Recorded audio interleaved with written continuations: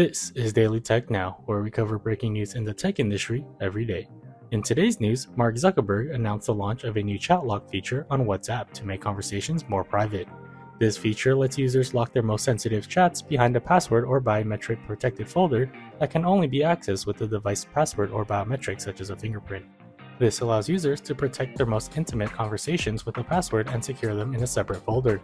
When someone messages users and they have a chat lock, the sender's name and content of the message will also be hidden. According to WhatsApp, Chatlock joins the growing list of privacy features that users can take advantage of, including end-to-end encryption and encrypted backups, disappearing messages, screenshot blocking, and control over who can see when the users were last online. WhatsApp says that this feature will be great for people who have to share their phone from time to time with a family member, or those moments when someone else is holding their phone at the exact moment an extra special chat arrives.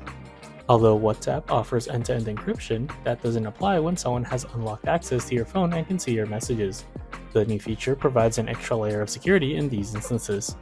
Users can lock a chat by tapping the name of a one on one or group and selecting the lock option. To reveal these chats, they must pull down on their inbox and enter their phone password or biometric details. The company plans to introduce more options for chat lock, such as locking for companion devices and creating a custom password for chats over the next few months. This new feature is a part of a series of updates that WhatsApp has rolled out recently, including new features around polls and sharing media with captions. This has been your daily tech news, and please subscribe and come back tomorrow for more.